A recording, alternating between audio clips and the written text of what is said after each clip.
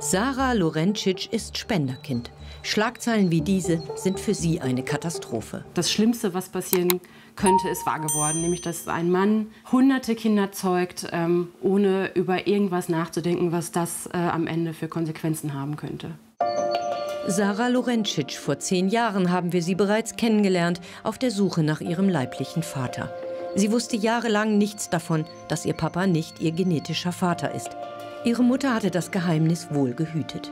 Als meine Mutter mir sagte, mit 18 Jahren, dein Papa ist nicht dein Papa, ich fiel natürlich in ein Loch. Ne? Es ging mir vorher nicht gut. Ich habe mich in der Familie immer gefühlt wie ein schwarzes Schaf. Ähm, wurde auch, glaube ich, nicht ganz so akzeptiert als die, die ich bin. Und äh, habe mich auch selbst nicht akzeptiert als die, die ich, die ich war und die ich heute bin. Am 8. März 1991 kommt Sarah in Bochum zur Welt. Sie hatte eine unbeschwerte Kindheit. Doch durch das Geständnis ihrer Mutter gerät ihr Leben aus den Fugen. Und als ich dann wusste, dass mein Vater nicht mein leiblicher Vater ist, war für mich alles klar. Ich wusste, ich muss meinen leiblichen Vater finden, um dadurch auch mich ein Stück weit mehr zu finden. Ne? Wir treffen Sarah bereits 2013 und begleiten sie auf der Suche nach ihren Wurzeln. Sie findet heraus, dass ihre Mutter Anfang der 90er Jahre in dieser Klinik in Essen behandelt wurde. Mit solchen Samenspenden, die hier tiefgekühlt zu Tausenden gelagert werden. Sie möchte die Daten ihres Vaters herausfinden und kontaktiert die Klinik. Doch diese weigert sich. Der Spender soll geschützt werden, das ärgert sie bis heute. Die Ärzte müssen verstehen, dass ihre Aufgabe nicht dort endet, wo sie das Sperma verkauft haben. Es entstehen Familien, es entstehen Kinder, Menschen, die erwachsen werden. Und sie müssen auch dafür Sorge tragen und Verantwortung übernehmen, dass diese Kinder, Menschen irgendwann die Möglichkeit haben, den Spender zu finden. Damals gab es keine Dokumentationspflicht über Fruchtbarkeitsbehandlungen und keine Verpflichtung, die Spenderdaten herauszugeben. Genau das aber möchte sie unbedingt erreichen. Ja, man denkt einfach ganz oft darüber nach und man stellt sich Fragen und will immer was über den Spender wissen und keiner kann sie ihm beantworten, außer der Spender selbst den man halt nicht, nicht kennt und wahrscheinlich auch nicht kennenlernen wird.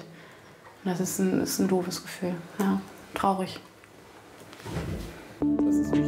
Sarah nimmt sich einen Anwalt, will die Herausgabe der Spenderdaten ihres Erzeugers gerichtlich erzwingen, egal ob dem Samenspender Anonymität zugesichert wurde und ihre Eltern dies auch unterschrieben haben. Fast vier Jahre lang hat Sarah mit ihrem Anwalt vor Gericht dafür gekämpft, zu erfahren, von wem sie abstammt. Im Februar 2013 findet schließlich der Prozess vor dem Oberlandesgericht Hamm statt, in dem ihrer Klage stattgegeben wird. Und die Klinik offenlegen muss, wer der Vater ist. Ein Urteil, das in die Geschichte der Bundesrepublik eingeht. Ich bin froh, dass ich das damals gemacht habe, dass ich geklagt habe. Ja. Ich kämpfe mit dem Prozess auch für alle Spenderkinder. Und ich war die Erste, die geklagt hat. Und heute berufen sich nun mal alle auf diese Klage und auf das Urteil. Und das ähm, ist großartig weil ähm, man bringt damit ja auch ein Opfer. Man, man erzählt seine Geschichte, die sehr privat ist. Das tat sie damals ganz bewusst, kurz nach dem Gerichtsurteil bei Stern TV. Viele haben heute gemutmaßt, da geht es um Geld, da geht es um Unterhalt und dergleichen. Ja, also Geld auf gar keinen Fall. Also ich habe gar keine finanziellen Ansprüche. Ich will einfach nur kennenlernen. Ich will nichts Großes. Ich brauche auch keine Beziehung. Also einfach also wollen keine dauerhafte Beziehung Nein, aufhängen? gar nicht einmal kennenlernen und vielleicht ein paar Fragen, vielleicht auch zwei oder drei Gespräche, ähm, um sich ein bisschen näher kennenzulernen. Und schon kurze Zeit später hat sie ihren Spendervater gefunden. Wir haben so viel gemeinsam, wirklich schöne Dinge. Und es hat mir so gut getan. Ich habe mich viel mehr gelernt zu akzeptieren, so wie ich bin, weil ich weiß, da ist noch jemand, der hat das vielleicht auch. Ganz wichtig ist für sie, dass alle in der Familie Bescheid wissen. Ihrem Sohn hat sie schon früh erzählt, dass er zwei Opas hat und warum.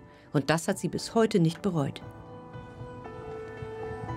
Also für uns ist es ein Familiengewinn. Für, für mich ist es ein eine unglaublich neue, vertraute Person in meinem Leben, jetzt seit zehn Jahren. Für meinen Sohn, ich bin selber Mutter, ist er wie ein Großvater geworden. Und wir leben einfach ähm, eine moderne Familienkonstellation, ähm, würde ich sagen. Und ich verstehe nicht, wie da jemand was gegen haben kann und warum Spender anonym bleiben sollen. Und so möchte sie auch wissen, wer ihre Halbgeschwister sind.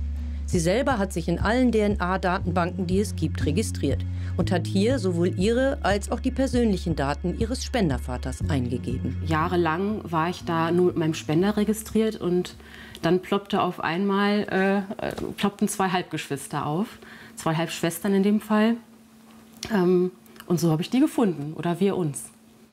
Insgesamt hat sie bisher drei Halbschwestern. Eine vergleichsweise geringe Zahl, denn sie weiß mittlerweile, dass Halbgeschwistergruppen immer größer werden. Wir wissen von vielen großen Gruppen. Wir im Verein Spenderkinder haben die größte Gruppe von 20 Halbgeschwistern und im Außen gibt es eben wesentlich mehr. Wir wissen auch, dass es auch in Deutschland eine Samenbank gibt, wo ein Spender eine, Kinderanzahl von äh, im dreistelligen Bereich hat. Ähm, und die Gefahr, dass man dann ja auch jemanden treffen könnte und ähm, sich vielleicht in jemanden verliebt, mit dem man eigentlich verwandt ist, die wird ja immer größer. Deshalb möchte sie, dass es endlich gesetzliche Regelungen gibt, die auch die Spenderabgaben kontrollieren und limitieren.